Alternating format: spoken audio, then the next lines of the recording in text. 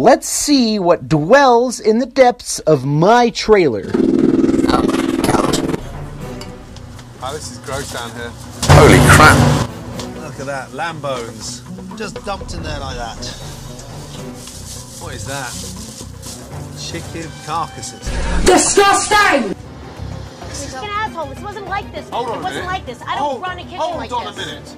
You're calling me a fucking arsehole? I am. You stuck up precious little bitch. Let me tell you Oh something. boy, here we go. Listen to me. I'm not gonna listen to you. You're in denial. I'm not in denial. Yes, you I am not are. Yes, you are. And you can't even accept it. Fuck There, you'll walk out again. I am. Fuck you. There you go. Flip the bird. That's your attitude and that's your partner. I'm really sorry, but this wasn't like this before I got here. She's deluded, that woman. You weren't insane. You weren't like. Yeah, blame me all you want. Easy excuses isn't? You're insane. I'm insane. You're insane. You can't even admit You're the fucking fucking truth. insane. That refrigerator was not like that before you got here. You're in denial. Flip out again. I would never allow that refrigerator to And look those like that. bones, the mouldy lamb bones. I don't even talk to my staff like this. You're Why don't get perfect. the fuck out of my restaurant? Want me to go? I would love you to go. I will Get go. the fuck out of my I will restaurant, go. please. You are so in denial. Okay. You need therapy. You're a disgrace to this industry.